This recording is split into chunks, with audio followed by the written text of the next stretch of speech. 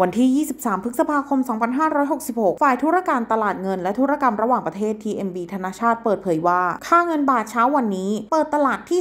34 บาท 46 สตางค์ต่อดอลลาร์ ซึ่งใกล้เคียงกับราคาปิดตลาดเมื่อวานนี้ที่ระดับ 34 บาท 45 สตางค์ต่อดอลลาร์ สำหรับกรอบค่าเงินบาทวันนี้ คาดว่าจะเคลื่อนไหวในช่วง 34 บาท 30 สตางค์ ถึง 34 บาท 60 สตางค์ต่อดอลลาร์ ทั้งนี้ค่าเงินดอลลาร์สหรัฐแข็งค่าขึ้นเล็กน้อย เนื่องจากได้รับแรงหนุนจากการคาดการณ์ว่าธนาคารกลางสหรัฐหรือเฟดจะเดินหน้าปรับขึ้นอัตราดอกเบี้ย ในขณะที่นักลงทุนต่างจับตามองความคืบหน้าในการเจรจาเพิ่มเพดานหนี้สหรัฐ ระหว่างประธานาธิบดีโจไบเดน ผู้นำของสหรัฐ และนายเควินแมคคาที ประธานสภาผู้แทนราษฎรของสหรัฐที่จะทำการเจรจาขยายเพดานหนี้